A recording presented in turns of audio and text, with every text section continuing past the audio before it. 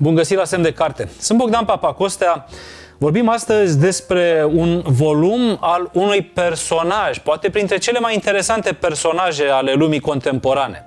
E vorba despre Yanis Varoufakis, economist, profesor și ministru de finanțe într-o perioadă extrem de tulbure a Greciei. În 2015 toată lumea a auzit de Varoufakis, membru al Siriza, partidul numit de extremă stângă al grecilor. Ianis Varoufakis a scris Economia pe înțelesul fiicei mele, o scurtă istorie a capitalismului, un volum apărut la editura Veland. E un volum pe care ar trebui să-l citim toți pentru a înțelege mai întâi cum gândește un personaj ca Varoufakis, apoi pentru a înțelege cum vede el capitalismul, economia, lumea modernă. Cartea este scrisă realmente pe înțelesul unui copil. De altfel, e chiar manifestul acestui volum, iar Varoufakis, care e în ultima instanță un anarhist, ne spune că n-ar trebui să-i ascultăm pe economiștii academici, pe economiștii de profesie, pentru că habar n-au. Și mai spune că dacă un economist nu este capabil să explice principiile de bază ale economiei unui copil, atunci habar n-are.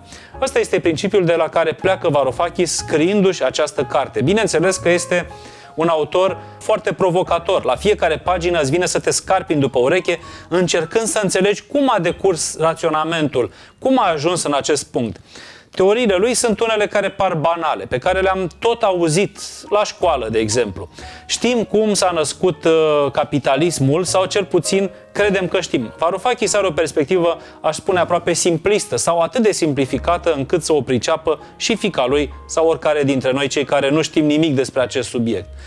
E vorba aici despre surplus. Surplusul, pe scurt, spune el, a creat societatea așa cum o cunoaștem, o societate care are conducători și care are inclusiv conducători religioși, pentru că fără o ideologie care să susțină o societate bazată pe surplus, societatea n-ar fi existat.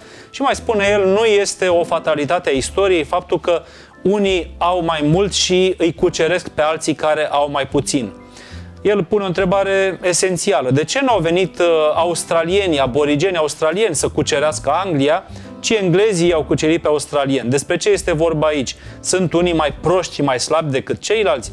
Nu, spune ele vorba despre un fel anume de a construi ideologia, de a construi, în ultima instanță, istoria, totul plecând de la surplus, de la o societate agrară. Explicația pare să fie uh, vă spuneam, simplistă, simplificată până la a deveni simplistă. Dar mi se pare că nu este așa. Varoufakis urmărește un fir logic aici și încearcă să ne explice pe înțeles de ce lucrurile arată așa cum arată și ne mai spune că, de fapt, toate inegalitățile care la un moment dat poate ne-au sufocat de indignare, mai ales când eram adolescenți, sunt în continuare pe lume, iar indignarea noastră ar trebui să rămână vie pentru a ne duce în direcția transformării în bine a lumii. Cu alte cuvinte, volumul lui este unul care vrea să arunce în aer o stabilitate nocivă a unei lumi mult prea preocupată de statutul câtorva în detrimentul celor mulți. Ianis Varoufakis este nu doar unul care gândește, ci și care simte din plin de stânga, pe stânga.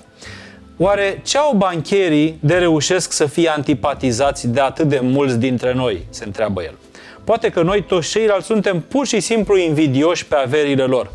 Însă, așa cum voi încerca să te conving în continuare, s-ar putea să fie vorba despre mai mult decât invidie la mijloc. Există o cauză mai profundă, odată ce cămătăria nu a mai fost considerată un păcat, bancherii au primit permisiunea de a taxa dobânzi la împrumuturi, iar bankingul a dobândit superputeri, puterea de a recicla cantități enorme, dar și puterea de a opri brusc și cu efecte devastatoare reciclarea. Și urmează de aici o explicație amplă, profundă. Mai departe, Ultimele două decenii au scos la suprafață un argument nou și foarte interesant. Dat fiind că triumful inteligenței artificiale asupra celei umane este inevitabil, ce-ar fi ca în loc să modificăm organizarea societății noastre cu legile și dreptul său la proprietate pentru a opri sau încetini acest proces și a conserva starea unei umanități damnate, să facem în tocmai opusul, să acceptăm schimbările și să punem umărul mai consistent la dezvoltarea tehnologiilor care permit să devenim postumani, similari sofisticatelor mașini ce vor apărea în curând. Cu alte cuvinte, dacă nu-i poți învinge, alătură-te lor. Pentru a înțelege pe deplin implicațiile acestei viziuni controversate, trebuie ca mai întâi să răspundem la o întrebare. Cum se poate diferenția o ființă umană cu voință proprie sau spirit de un robot evoluat?